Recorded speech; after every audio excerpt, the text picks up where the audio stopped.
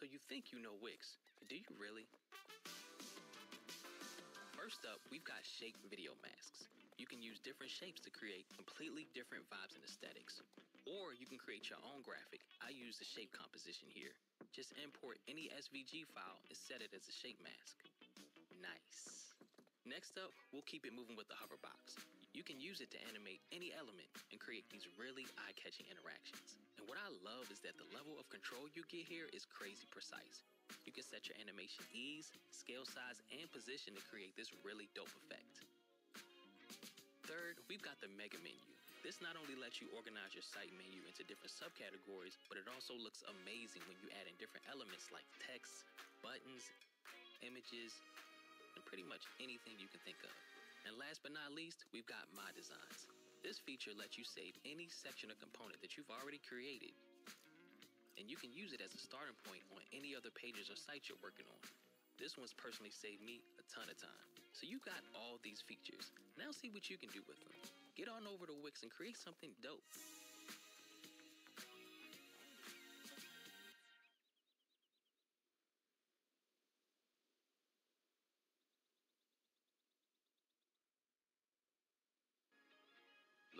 Best music for your videos? Then you should check out Artlist. Somewhere on the sea. It got a little longer, so it seems. I burned out, so to speak. Artlist music is so good, you'll forget you're actually working. Start now and find the perfect song.